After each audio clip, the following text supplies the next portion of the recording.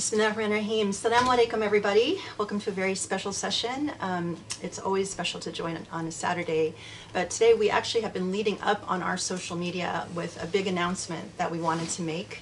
Um, people who receive the weekly email probably already know a little bit about what I'm going to talk about, but um, I'm gonna I'm gonna take a little bit of liberty to give a little bit of a lecture today. So a little bit more than an introduction, not really, um, but I'll try try not to take too much time. So and I'm going a little old school, so I've got a little board here to to help me. Um, so we have a very special announcement. It's something that has been in the works for a long time, and um, let me start by saying what the announcement is because it's a little bit different. The intellectual revolution has the potential to begin. That's the announcement, that's the theme of my talk today, and I want to start by putting that out there and then starting with a little bit of history because I wanted to share, we're going to do a little bit of book talking, a little bit of history today. Um, so, you know, in, um, we've been doing this now for, you know, 20, almost 30 years um, in the world of books, in the you know, world of education and learning. Um, and our journey started, you know, back in, well, we met in 1995. Um, as far as book journeys are concerned, our book journey started with um, one of the Sheikh's first publications. This is called The Authoritative and Authoritarian in Islamic Discourses. Some of you may know this book. It's known as sort of the Orange Book. Um, it was published by MVI, which is a part of Islamic Center of Southern California. And this was a long time ago. The, this was before the, the Sheikh had his PhD from Princeton. Um, he was getting his PhD. He had finished all of his work. He was just writing his dissertation.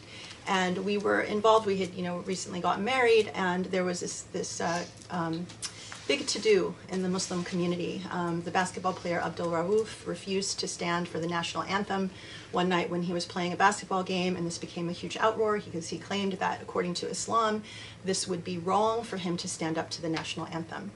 And that triggered then a whole bunch of people coming out of the woodwork and issuing fatwas, you know, doctors, engineers, all kinds of people throwing around hadith that, you know, supposedly were the mic drop moment about why this was either true or not true.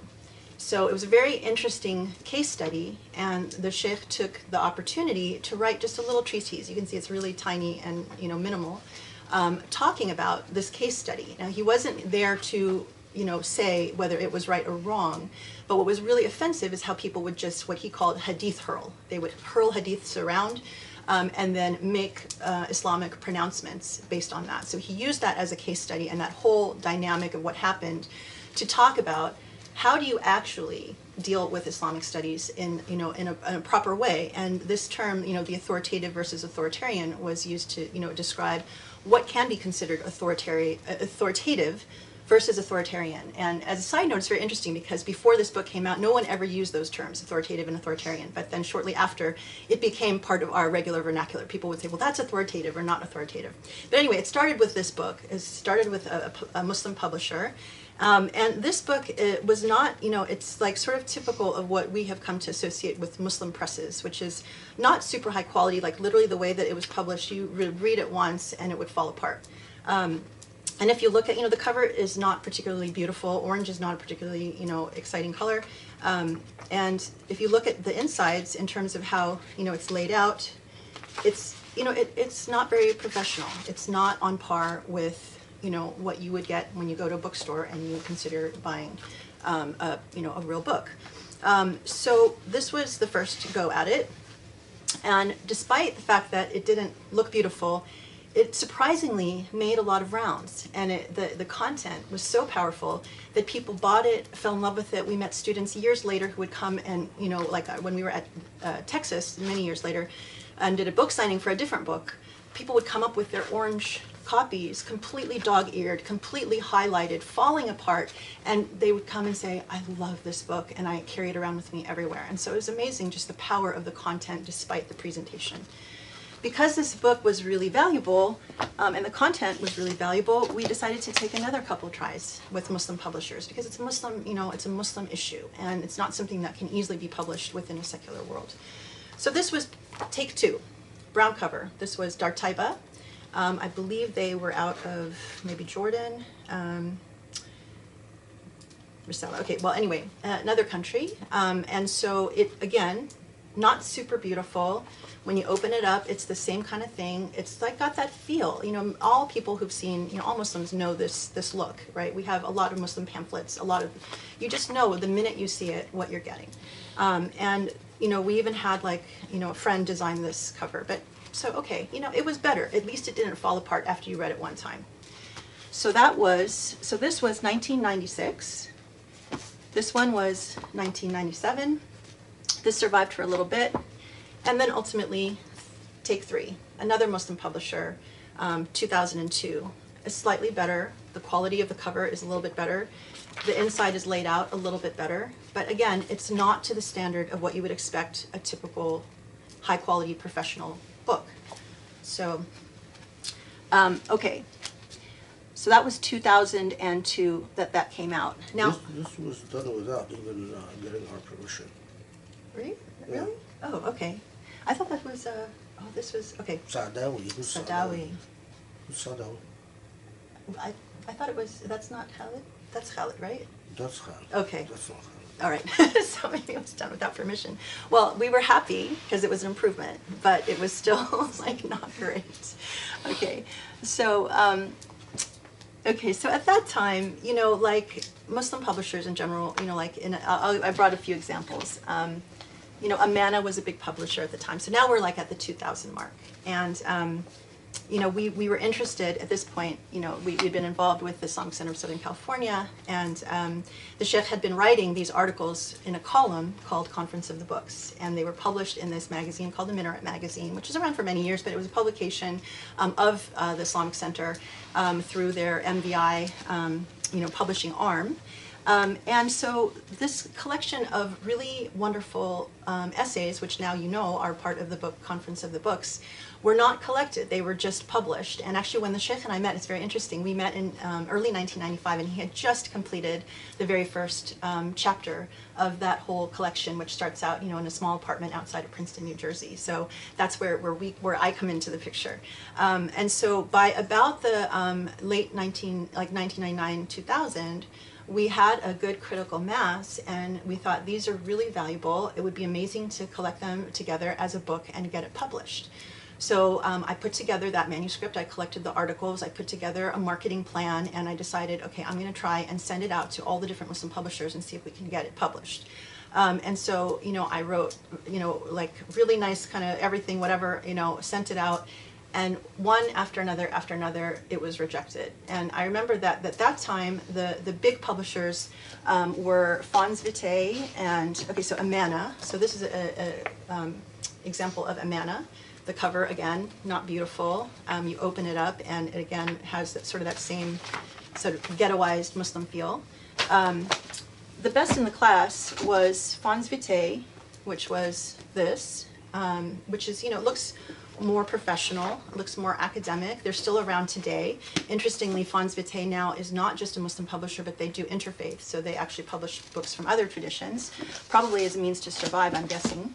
Um, and then the other one that was um, what I would consider top of class was the Islamic Text Society, which looks like this. And they published a lot of books um, on Al Ghazali, and they're still around. And so um, this was probably the most, the closest. I mean, this to me is like on par with what you would get, you know, at an academic press. It's this is impressive, but they're out of the UK.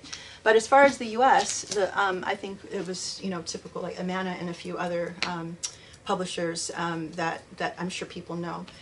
So all of those guys said no to Conference of the Books. So we said, okay, you know what? I know, I believe in this, um, and so we'll just do it ourselves. And so we got in contact. I was aware of um, a publisher that was an imprint of Rowman and Littlefield. Um, they're called University Press of America, um, and this is a press that really existed for um, you know scholars who did really top-notch work. Um, as I mentioned, maybe sometimes a bit esoteric, um, but the, the um, you know the work deserved to be published, but people just recognized that this is not going to make a lot of money. So it was an imprint that was dedicated to allowing scholars to publish their work, you know, with the expectation that you know it's they're they're not money making, but they're doing something good for scholarship. But they asked that you, in order to use their, their press, that you provide everything for them. So you had to go and get the text, you know, copy edited, laid out on a page, camera ready. You go and you get the cover. You basically do all the parts. You are the, you know, the work, the, the legwork. And then you, you deliver everything to them and you write all the marketing copy and all that sort of stuff. And then they do the finishing bit of, um, of publishing it as a book. And then their distribution was minimal. You know, I mean, they, they made it available on Rowman and Littlefield, but um, they were not actively marketing it beyond just the basics of putting it in their catalog. So thus the conference of the books was born. And you know, I remember finding this image. I remember finding the designer to create, you know, the um, the cover. I remember writing all the copy, um, and then finding the person to lay out the insides. And this was the first version of Conference of the Books. You know, we really wanted to make it a beautiful book. So if you know, every single chapter begins with, you know, a lovely um, Arabic calligraphy. Um, it's everything about it, you know, looks professional. And it was a really just a beautiful job. We made it in hardback and then we also made it in paperback. Um, and so, um, alhamdulillah, it was born. And um, this was the first version. So um, this lived for, um, so it came out in 2001. Um, and this lived until the next version came out, which was in 2006. And this version actually, um, it was lovely because Rowman and Littlefield recognized that it was doing well, and they decided to republish it under their main um, or their main uh, title. So it's actually this is now published by Rowman Littlefield itself, not University Press of America. Um, and so then this actually includes additional chapters that were written after the first one came out. So this has actually the complete set, and hopefully um, you guys have all read it because it's really amazing. So this process was really important for, for me from a learning perspective, and um, I, I found it, um, you know, I, it was it was all new and really interesting. But I felt so relieved that we could actually create something beautiful, and the the sheikh had written another manuscript that I thought was just brilliant. Um, well, actually, it was this. The author, you know, it was the, the content in this book, um, which is that whole case study. Um, and I wanted him, um, you know, by this time a lot of things had transpired. This text had been out for a while. People had been talking about it. He has a few, um, you know, quotes and, and citations in there that were a little bit controversial about hijab and whatnot. So people were talking about it. Um, and a lot of things had happened, you know, and this was now post also 9 11. So, oh, sorry, no, not before this, but sorry, I'm getting my timeline off. It was not yet 9 11. But enough had happened that um, we felt it was a really good time for Sheikh to, you know, republish the meat of the authoritative and authoritarian, and then add to it some commentary about what had happened since the first book was published. And so there was quite a lot to say. And so this book actually contains the total of this plus commentary and some really interesting insights. And this is like kind of um, and we did this through the same UPA process. So actually, if you read in the introduction, it's kind of nice. He he actually says, "Oh, you know, Grace kind of took it on and did it," and I just basically did the same thing here. Got the cover design, got the image, did all the writing, you know, and all of that, and and then it came out. Um, and it's such, um, and we've never really done marketing on this book, but it's been around since 19, you know, since actually, okay, this came out 2001.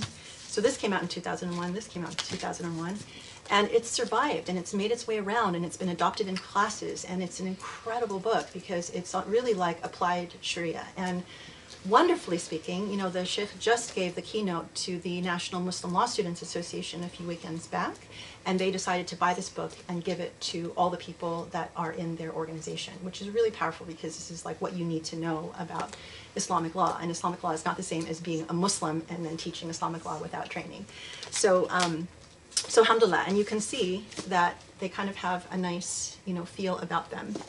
Um, interestingly, so that was 2001. We had two other books that came out in 2001 because these things, um, when you work with a Muslim press, they take different time. You know, they're different timelines, especially when you work working with a publishing company that's much larger. They have their own timelines and their own deadlines. And so, interestingly, um, this was uh, rebellion and violence in Islamic law came out in 2001. This was actually Sheikh's dissertation, and this was published by Cambridge. So, um, and that came out in a hardback and a paperback. And I just want to point it out because, you know, when you compare, once again, you know, like best in class of um, Muslim press versus, you know, Cambridge, Oxford, you still see a significant difference. Um, and then the last book that came out in 2001 was Speaking in God's Name, and this was published by One World Press out of the UK. Um, and we, in both of these cases, we had really no input at all into the cover design. And so you can see that, you know, this has kind of an interesting image and some Arabic. Um, we, we had, I think, a, a little bit of maybe, we got to say like, okay, yeah, that's okay, we kind of like it, that's all right but um, you kind of leave the design and the presentation of the book to um, you know someone who's not Muslim, and you know you you they may come up with something you like or they may not. Um, and now, actually, post 9/11, um, it becomes a little bit more um, a little more risky because you've got the impact of Islamophobia. This is an image of uh, a woman teaching a class. It's uh, from the Islamic tradition. Awesome. I didn't know that. Actually, no, I did know that. Okay. Um, so again, 2001. 2002, we had a couple of conversation books. Um, one is The Place of Tolerance in Islam, which was a situation where the, the sheikh would write an article and then they uh, then he was writing about tolerance, which was a big issue in, back in 2002. Um, and a lot, and then the this was the Boston Review. Where's the democracy book? Yeah, I meant to grab it. Um, I don't know if can you go down and grab uh, Islam and Challenge of Democracy. I was looking for the the one with the, the right cover. It might not be on the shrine, And but yeah, it's orange and it's Princeton University Press. It came out around the same time. But it was another conversation book again. So the, the sheikh would write the first article. Um, that article would be sent out to a number of scholars who would then write their response to his article. Um, and then the sheikh would read all of those responses and then write a final response in response to all of those other articles. And so it was a very interesting way to see, um, you know, scholars weigh in on this argument, on this issue of tolerance. And the same thing um, happened on the issue of democracy. So that was Islam and the challenge of democracy. So again, you know, when this is like, if I don't know if you can see this, but it's a bunch of women wearing white hijabs. This is a, presumably at Hajj, right? No. Oh, okay, well, I don't know. So it's a very, you know, stereotypical kind of thing. You know, when you think of Islam, oh yeah, of course you think of women wearing white hijabs, and, and not just one woman, but like a sea of women in white hijabs, right? So, um, and then I think the um, Islam and Democracy book was more, um, it wasn't people, but it was more like uh, some other kind of design. So when Ramin brings it up, we'll, we'll take a look. This is another book that came out from a Muslim publisher, um, Shattered Illusions, where Sheikh actually has an article, but it's just another example of a Muslim press. It's it's better than most. It's Amal Press, um, which actually isn't even around anymore, but it was you know a, a, a pretty good um, a, a good presentation. And then 2005, after 9/11, this is The Great Theft, came out in um, again after. Um, this is a really important book. It was published by Harper San Francisco, um, and it was um, really the the difference between you know people were talking a lot about moderate Muslims, and but yet no one had ever defined the term. You know, what is a moderate Muslim? And so um, the Sheikh wrote this book that really, um, the first part of it gives you sort of the history and the rise of, um, thank you, I know, see, this is not, not the one, this is the hardback, but it doesn't show you the cover. Um, we actually, I, I couldn't find the other one, so maybe I'll show you another time. I've seen the hardback. Oh. Um, so this was the part one of this book gives you the whole history of the rise of Wahhabism, and so you understand like why Islam is, uh, or at that time was as crazy as it was with the, the you know infiltration of Wahhabi thought. Um, and then the second part of it was um, really in a, in a way it was the Sheikh's school of thought, but it was the difference between um, a moderate Muslim uh, or you know an extremist Muslim and what we, he was defining as a moderate Muslim on all different aspects of theology and practice. And so it was a really valuable book that was um, adopted in a lot of classes. Um, the, the interesting history that I think I might have told about this is the first draft that was intended to be published um, for Great Theft was the was Reasoning with God, and he had written like a 400 page draft and handed it in to the people at um, Harper's, and they were like, "What is this? We wanted a beach read. This is like so difficult." And then he, you know, and he thought he was dubbing it down, but it was too difficult for them. So instead, he then took that text back, and that sat for 10 years, and then he wrote this book in literally a month's time. So, and this was like to him the real dumbed down version, but for, for us mere mortals, it's an incredible book and a great education. So, but this again was a really important book after uh, after 9/11 to really you know indicate what what are we talking about when we're talking about moderate Muslims? What does that look like? So, as I said, then this was 2006, and then came Reasoning with God, which was um, in 2014. So after this was turned down, uh, the original draft was turned down by Harper's San Francisco. This sort of sat for 10 years. Um, the Sheikh would work on it. Times changed. Islamophobia took an incredible rise. Um, some of the stuff that he had written that he thought was dumbed down, he went back and you know worked it back to what he felt was was right. And for those of you who have read it, it's really like an intellectual autobiography. It's also really fascinating, deep um, insight into what has happened um, in you know in the world of Islam, um, the perceptions of Sharia, and all of that in, in one person's lifetime. And, and it's an incredible um, you know it's an incredible journey because it's it's academic, it's personal, it's philosophical, um, it's beautiful, um, and so highly recommend that as well. And then the most recent um, under the Sheikh's name is this book, The Routledge Handbook of Islamic Law, which is a collection of articles. Sheikh has a really powerful article in here and an introduction, but it's an invitation to a lot of scholars to weigh in on different aspects of, of Islamic law. And so this came out, I think, in either uh, 2020 or 2021. Oh, sorry, 2019. So, so that is kind of the history of like our um, interaction with the publishing world. And there was a lot of learning for me personally. All of this made me really feel like oh my god it would be really amazing for us to have our own press. Because when you're talking about you know like muslim presses and what they produce you feel frustrated and you feel like okay i don't really want to work with a muslim press because i you know we, we want to be able to speak to the world and, and you know and be, present ourselves in a, in a respectable manner. Um, and then this also creates a challenge because then you're working mostly with secular publishers. So the cambridges the oxfords the, you know all of these you know big name publishers they're obviously not necessarily interested in something that is grounded um, in, in the tradition and unapologetically muslim you know we have we're talking about academic presses um, and you know, and I have we, you know, the the sheikh has written so much. He's said, you know, he's done so much that is so valuable. And I always felt like, you know, it would be amazing to have the ability to just create our own mechanism for for publishing. Um, and you know, in that time, obviously, as you know, the the publishing world has completely changed. So you know, self-publishing has taken off. Um, it's a lot easier to actually, you know, create stuff. Um, and so, um, you know, over time, um, I, this was always just a dream that I had. And, you know, as I had mentioned in my, my weekly email, you know, as things progressed and we, you know, created the Usuli Institute and then we started doing virtual khutbahs and whatnot, we just had this critical mass of amazing information that, you know, I felt shouldn't just live out there on YouTube um, or on SoundCloud, but that really needed to be published.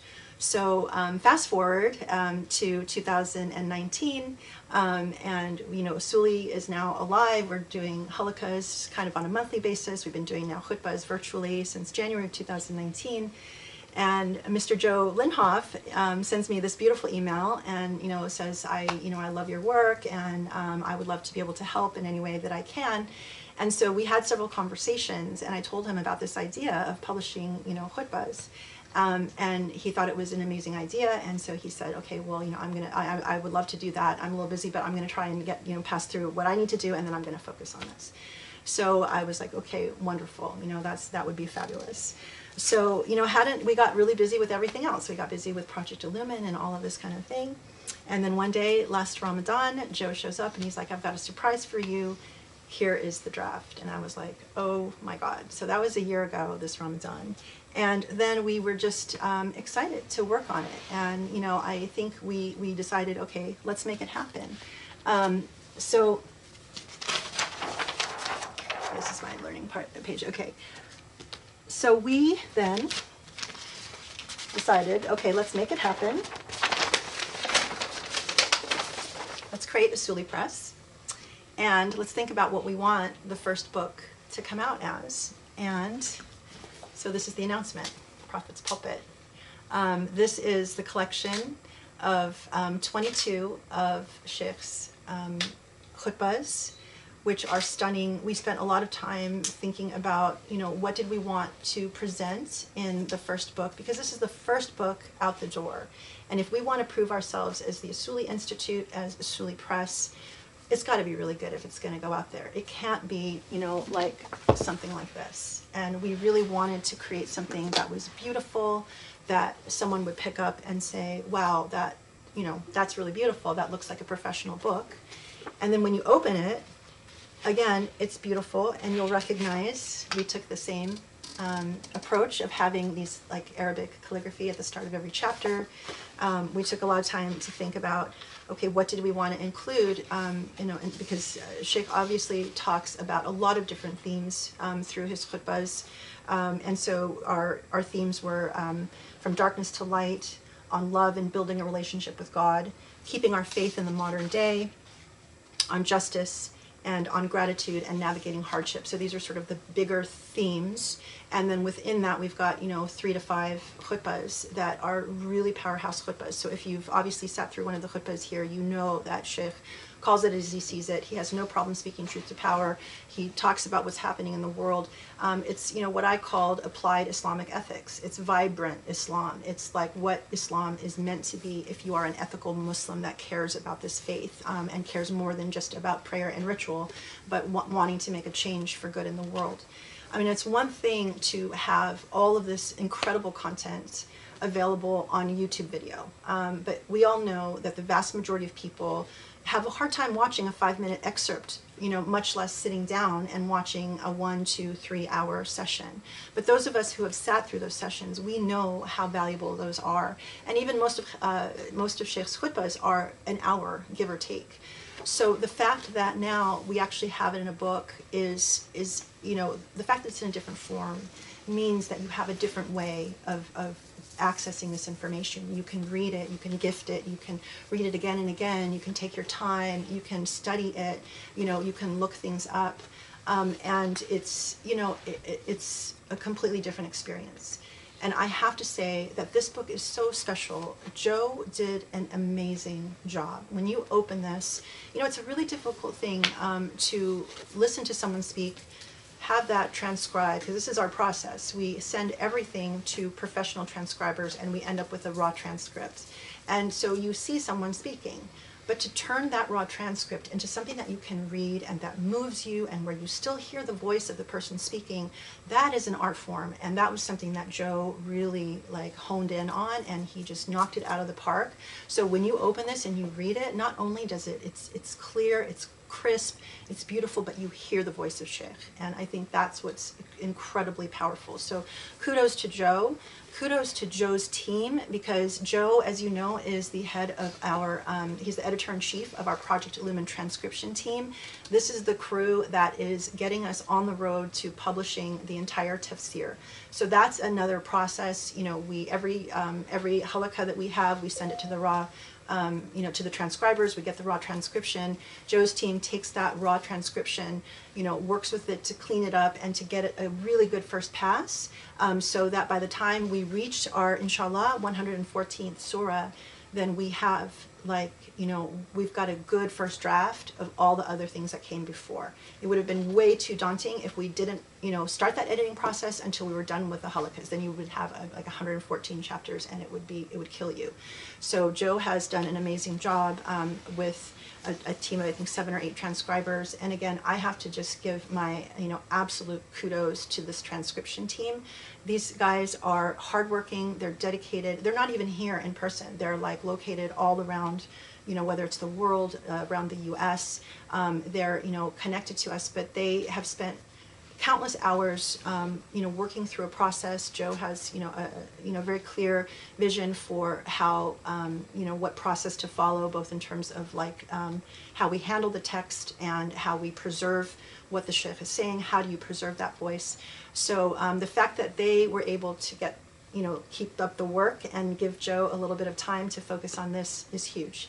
Now, this book was really intended for um, several different things. One, it's like one out the gate, so it's now proof of a Usuli. Okay, like what are you guys really about? What are you able to produce? Um, and it was a learning curve for us in preparation for this incredible tafsir that we want to take on. Um, and it was trying to create a process so that when we have other things that we're ready to publish, that we we have it ready to go on a dime. So we already have volume two and volume three in the works because um, we have you know a whole uh, inventory of amazing khutbahs. Um, we are working on a few other projects that will come out over time, but it's a really exciting thing. Um, what's really what I want to talk about today, though, I mean, it's like, you know, I wanted to give you the history and I wanted to tell you how we arrived here. But I also wanted to talk about how, to me, this is so much more than just a publication of a book. Because this book becomes a symbol and, you know, and proof for what we are able to accomplish as Muslims when we talk about, you know, an intellectual revolution. So, um, let me go on to here.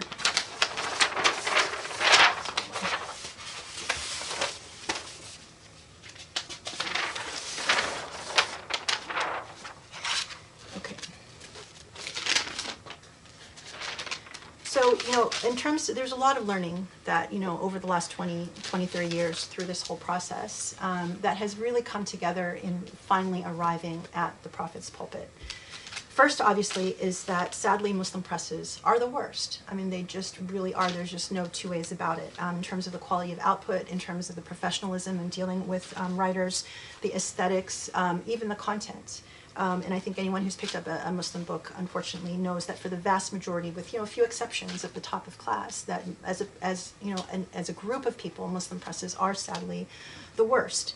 Um, and in terms of even speed to market, um, you know, most are not peer reviewed. They just are not up to up to snuff and not competitive with the mainstream. I mean, that's really the bottom line. Um, and secondly, secular presses have the quality, but they don't have necessarily the conviction, right? So you're not going to necessarily, uh, you know, you can't publish necessarily something like Conference of the Books or the Prophet's Pulpit, you know, a bunch of like sermons. Um, it, it's going to be hard, especially in this age of Islamophobia.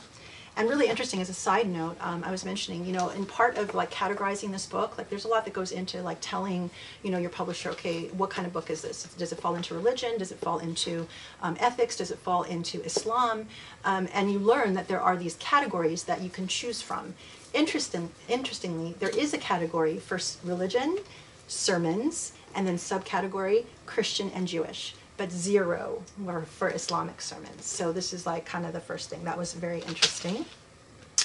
Um, and, you know, I learned a lot also um, working with secular designers because, you know, first of all, you know, whether you, you have an opportunity or not to weigh in really depends on your relationship with the publisher um, and, the, you know, and even just an individual, whether they're going to allow you to weigh in. So for Reasoning with God, for example, I was the one who was able to find this imagery, and then they allowed you know uh, us to present that imagery, and then they worked with the final form. So um, you see, like, you know, or in some cases you have like no input at all, um, or you know, um, like this, no input at all. So of course you've got a whole bunch of men standing there praying, kind of a very typical image. We didn't really like this image, but we really didn't have a whole lot to say about it. And even the title, The Great Theft, that was their title and not one that we necessarily really liked.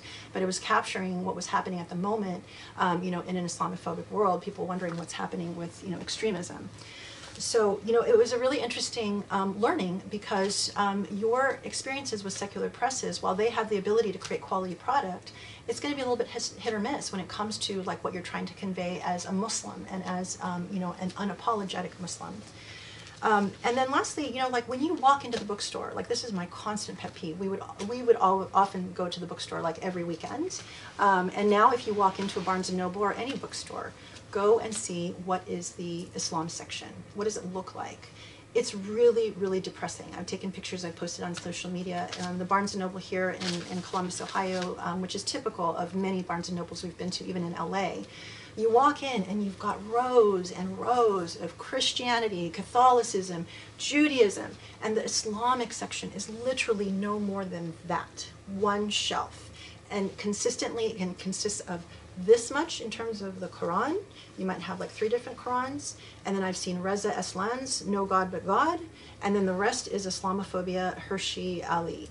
And it's you, you will have some, you know, combination of that. And for the second largest religion in the world that has issues about Islam and all of that, this is ridiculous. But what it conveys is one that Muslims don't buy books. They don't spend money on books, and this is not a, a source of income for people who, who publish and sell books. And so they will put out there what people will buy.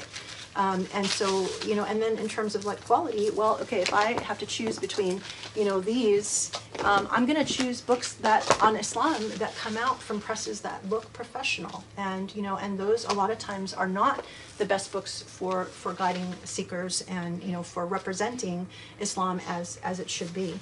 Um, so what ends up happening in terms of all of these dynamics, um, poor quality books, poor quality publications, um, lack of financial investment, consequences are that Muslims don't control their narrative, as we know.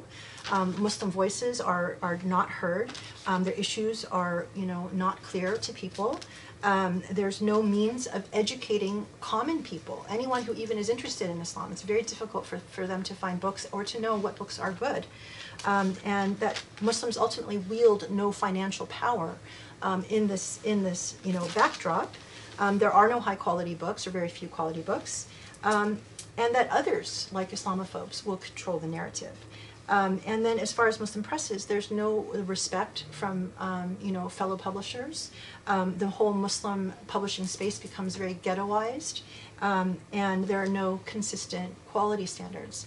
Now, we know from our work here that the jihad of our day and age is ideas and knowledge and communication.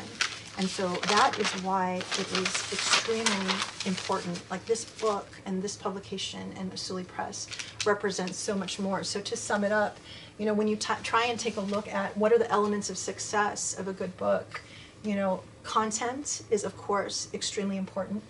The cover, how it presents, is it beautiful? Is it appealing? Is it something that you want to pick up and look at? For our purposes, conviction. You know, what does it say about our faith? Or is it apologetic or is it not apologetic? and ultimately distribution you know is it going to get around and when you look down this level so I'm, i've got muslim publishers secular publishers and Usuli for muslims you know we don't always know that the content is very good most times often it's not it's very a lot of it was very wahhabi for very long the cover is obviously not great conviction is there sure distribution i don't know i mean maybe just ghettoized and among muslims it might be okay secular they've got the content they've got the cover but they don't they don't have the conviction necessarily, and they definitely have the distribution. For Usuli Press, with this, with the Prophet's Pulpit, we have definitely the content. It's amazing if you read it. It's incredible. The cover, I honestly think it's a beautiful cover. We obviously have the conviction. Um, and you know, just to say, like, how do I define, um, you know, like a high quality book? Um, in terms of Muslim terms, it's you know obviously it has to be aesthetically pleasing. That it's got to be rigorously sound um, and unapologetically Muslim. Because a lot of Muslim books, um, although they might be really good, they're very apologetic. Um, so you know, the last question then is distribution, and that is really then what brings me to um, my now I'm gonna like be a little bit like convert zealy and so forgive me. I like go a little nuts because you know this is like we talk so much here about who controls the narrative. Um, you know how do we make a change? Like I am so sick and tired and done with being with people thinking Muslims are backwards and stupid and um, can't be on par with mainstream we absolutely can do this and this book to me is proof of that um, I wanted to be able to compete with other academic presses. I can go forward and say, you know, what's in this book is is empowerment. This is empowerment in a book. It's you know speaking truth to power. Everything that Sheikh says about you know the UAE and Saudi Arabia and Egypt and you know the backwardsness of Muslim you know spaces here in America. It's all here. We didn't edit any of that out. Um, it's applied Islamic ethics. It's Quranic exegesis. It's what we do here. It's like what is God's book telling us to do, um, and how do we do it? you know, right? So every single week, Sheikh gets up and talks about what's happening in the world, and he tells us, you know, if you're an ethical Muslim, this is how what you should feel. Yes, we live in dark times, but this is what if you as an individual, it's up to your individual choice. This is how we make the change. If God feels that we are willing in our hearts to, you know, do the right thing and stand up to justice, then God will help. But the, until we get there, there's not we're, we're going to be in, in darkness. Um, and I, what i love about what we do here that is i think different than a lot of other muslim you know scholars presses organizations is we focus not just on the trees. I think a lot of people get lost in the trees and they don't see the forest for the trees. So, you know, I, I question like who has a real comprehensive view. Like I, you know, I'm on social media, I look at books and things.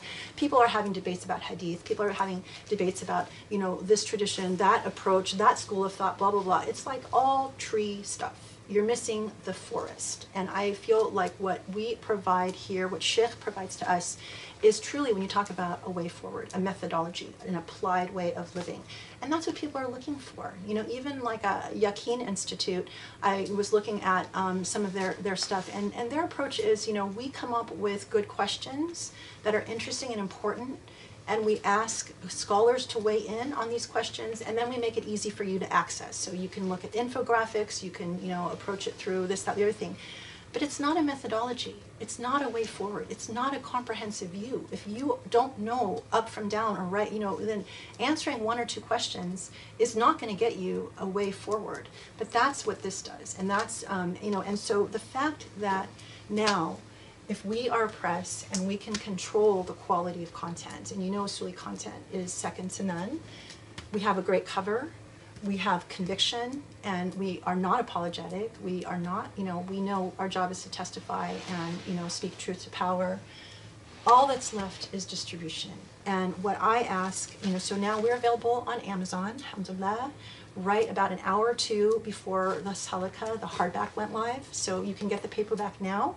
The hardback is, um, you can order it. We have an ebook in process. And then we also are working um, with uh, distributors, so it'll be available hopefully um, in brick and mortar stores, so in you know Barnes and Noble and whatnot. Um, so, and I'm praying and hoping that you know that some of these bookstores will will pick it up. But what makes a difference is now all of you. So we've done the hard work of creating this incredible product and making it available. And now what I ask all of you is to join this cause and let's if you're done with looking, you know, with Muslims being thought of as stupid and backwards, join me. And let me just share with you. So if you if anyone's familiar with this book by Malcolm Gladwell called The Tipping Point, um, or you know there's another book called contagious. You know these are books are, that talk about the dynamic of how ideas take hold how they become contagious how they get set on fire. Things come to a tipping point and once they once they get past the tipping point poof, they explode and that's what I want for this book because this book is now to me best in class if you can find a book that's better than this show me, I want to see it. And, but that's great, I hope so. Um, but from, my, from where we're sitting, this is the best book from that quality standard. Unapologetically Muslim, beautiful inside and out. So now this is a symbol that you can share with your friends, your non-Muslim friends, your Muslim friends, your Muslim friends who don't understand what the heck you're doing, or why people should care about Usuli, or why Hamza Yusuf isn't, you know, good enough, or why Omar Suleiman isn't good enough. Here it is use this as your Eid present. Give it to every single person you know. And I don't care if they read it. I just want them to see it. I just want them to know that it exists. I just want them to know that somebody is doing something that can be taken seriously. And interestingly, I mean, we talk a lot about, um, you know, where is the change going to come? And it's really interesting. Sahar Aziz, Professor Sahar Aziz, came and spoke in Dr. Abou El Fadl's Muslims, Race, and Law class this week. And it became really clear to me when she was talking about her family, you know, she came from Egypt, her parents came, um, you know, and like so many families, they were looking for a better life. And, um, but she made this comment, you know, my parents said, you know, we are not here to change the problems in America. If we wanted to change things, we would have stayed back home and fixed things there because they consider themselves guests in America. And so they are not interested in issues of racism or, you know, gender issues or wealth and, you know, disparities or, or any of the social justice issues because they feel like they're guests here. So who are the people that care? They're the people that are probably second and third generation. And oftentimes we know people who reach the third generation are not really Muslim anymore. They're the ones that say, yeah, my Muslim, my parents were Muslim, but you know they don't have the language, um, but but they feel that America is their home, and they're the ones that actually can make the change. So when we talk about who are the Muslims that are smart, that care, that are social justice oriented, that are curious about the Quran, probably everyone in this room, you know, is two degrees of separation from everyone in America or in the West who falls into that category. So between us, if we can get this book in the hands of every Muslim academic, influencer, activist, anyone who cares, we can start to hopefully get to that tipping point and try and make a change. So all I ask is just buy a book for your friends, you know, and um, give it away. Just make it, you know, tell them to put it on their coffee table. It's so pretty. You could frame it. You know, I don't care. You don't have to read it. Just get it out there so that it makes an impact. So people see it. Their awareness rises, um, and then that can be the start of change. And I really believe that if, if you know, if we want to make a difference, this is a great first step. And you know, and inshallah, may God accept and help us. That's what makes you know, so many things don't make it to the tipping point. They don't catch fire, and that's where I feel like if we take the effort and God sees it, then God can push it over the tipping point, and that can start to to make things change very very quickly. And if that is the case, instead of having the potential to begin, we can then say the intellectual revolution has begun. Um, you know, like on a personal note, I thought I would share this. Um, a lot of people here have heard my story about you know my my family, my conversion, um, how my parents um, and I were you know when I was really uh, estranged from them for eight years and how difficult it was. Um, so one of the very first things that I did when when this book came online and was available to buy, like literally just this week, like several days ago, I bought two copies, one for my mom and my dad, and they got it actually even before we did here. So just the way that the distribution worked, and so my I called my mom and I'm like, okay, I'm sending you a gift today. Did you get it? She's like, oh yeah, we got it. We got it like a couple hours ago. We've been reading it. I'm like, oh, you didn't call me. so, but I'm like, okay, what do you think? And she said, you know, your father said to me, um, I can't believe we have a daughter that could do this. You know, we've done nothing. Maybe our only purpose was to have a daughter that could actually do this. And then he wrote me a text message a couple nights ago, and he said, I think what you and Khaled have done is absolutely amazing. Um, I don't think anyone else could have done it. Um, and he's like, how many more volumes are coming out? When are the next ones coming out? if you know anything about my story, like, you know, years ago when I converted, I literally thought I would never, I, it's like I was done. Like my parents, you know, disowned me. I, you know, was ready to just see them on the final day, you know, and then this is like a Ramadan miracle. This is a Ramadan miracle. Usuli Press is a Ramadan miracle. And then to get a message like that from my parents um, is truly a miracle. And so anything, you know, can change very quickly. And I think that if we put in the work, we, the change can come from here. Because I just don't see that the, the content that's out there um, doesn't compare to the stuff we do here. You know, other Muslims are not interested in figuring out what the Quran has to say. And you know, this is just dovetails with all the work we're doing with the halaqas. How can you be Muslim if you don't know what your, your book says? And, and how can you know what your book says unless you've had someone like a scholar who's dedicated his life opening the meaning and then we're here just to receive it. You know, it's, it's such a miracle. So, um, thank you for giving me all of this time um, to take you through some history and my, my musings and kind of go off on my convert zeal. I really appreciate it.